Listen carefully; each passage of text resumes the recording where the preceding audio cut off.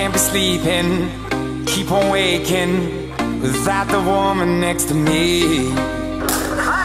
Guilt is burning, inside I'm hurting.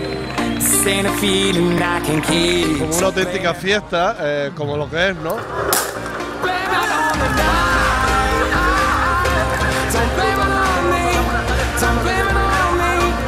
Es el final de un montón de meses de entreno, de montón de días duros y ahora bueno, a ver lo que sale. To- Pero solo con mucha alegría y a disfrutarlo.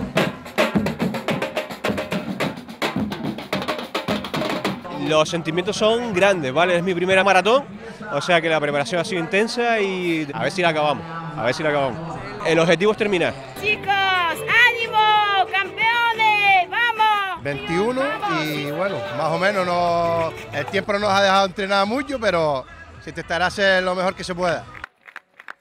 Fiesta, deporte y promoción de Gran Canaria. De que hoy en los países más fríos de Europa, mm, en este duro invierno europeo, se esté transmitiendo al mundo este clima, esta luz, este sol de Gran Canaria, haciendo deporte en la orilla del mar, de esta manera, fiesta, deporte y promoción para la isla. De luego un día redondo.